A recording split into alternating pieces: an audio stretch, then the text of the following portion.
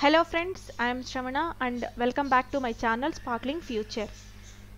From today we will start with Python tutorials. Before starting with today's topic, I request all of you to subscribe to my channel and also please like, share, comment and hit the bell icon for the latest video notifications. Thank you. So before starting with Python coding, let's understand what exactly is Python because if someone asks you in interview what is Scala and what is Python then you you should be able to explain about what is Python right? So this I am giving you a brief idea about Python so that if someone asks you you can easily explain about Python. Okay? So Python is an interpreted object oriented high level programming language with dynamic semantics. So it's high level built-in data structures combined with dynamic typing and dynamic binding. It gives a perfect scripting language for rapid application development. Okay.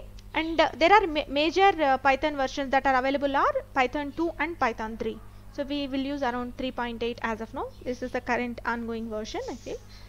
Uh, so Python is very easy to use and it has simple syntax and quickly uh, learnable syntaxes that it provides. And also excellent readability.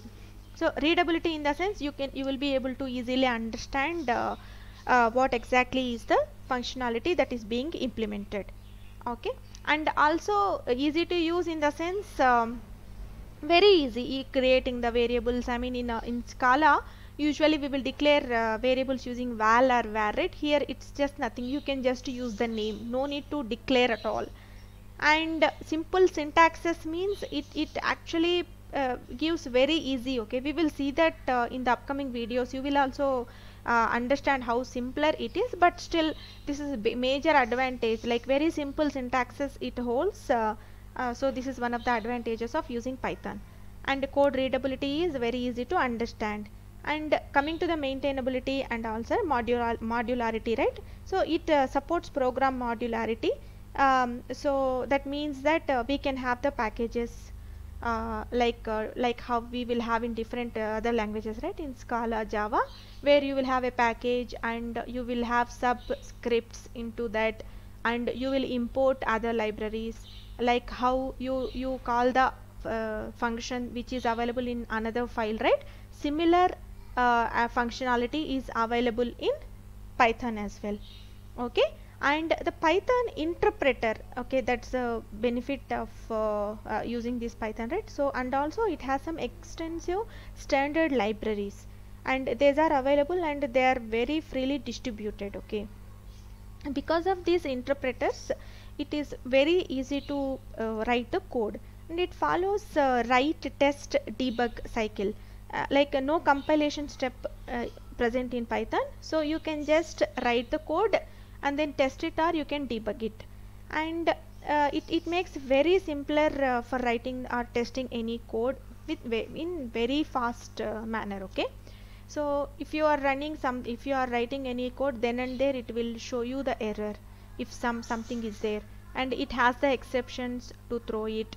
And it, if any other error that is not caught using the exception then it uh, prints the stack trace as well from there you can debug the application very well. Okay? Okay. Then um, uh, that's all okay? That's all about very simple basic about python. What is python is you can just uh, say this definition and what are the major uh, versions and what are the advantages of using python.